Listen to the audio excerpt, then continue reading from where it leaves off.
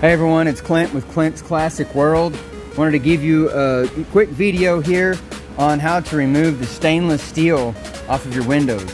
I have a little piece right here, works really well with getting that stainless steel off. Basically what you want to do is you run this up, as you can see I'm already removing it pretty easily here. You run this up and you want to get this behind this piece here and you see right there as I'm get it in there.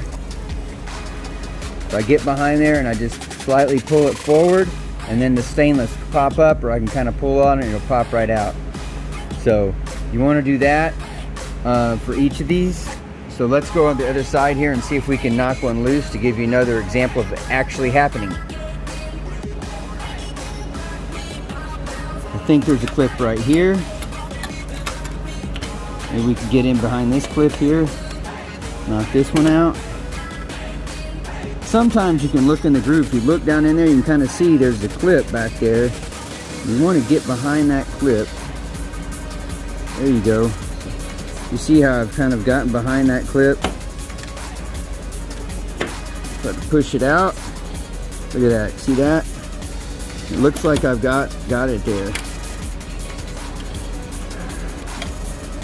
Looks like I should have it loose, so let me go to this side. Yep, so I'm, I'm basically lifting this up now because I popped that one loose. And there's another clip that should be right around here. So let's get into this clip. You see that mechanism right there? I'm in there. Oh, pop!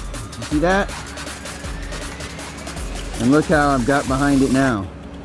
So I popped it loose I don't know if you can see, but it's moving around here. This, this whole section here is loose. So that's what you want to do, and eventually you can slowly pull it out. So just do that all the way around so you can get your stainless out. As you can see, I was able to get the stainless steel out. And look at this, look at these clips. Very solid around the window, very surprising. The windows, you expect areas to be very rusty it actually looks pretty solid. I don't see, I see very minimal issues here around this window of the 71 six pack Challenger. Very solid. Let's go around the other side.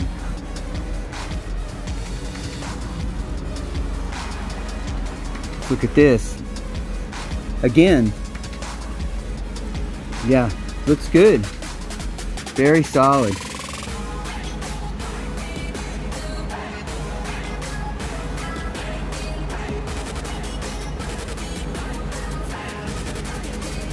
Hmm. Just dirty. Clean all that out, pull the window, clean it out, put the window back in.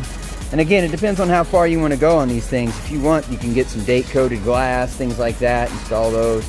Depends on how far you want to go. But so far, this Challenger not looking too bad. Looks pretty solid. Like a good, good, solid 50-year-old car.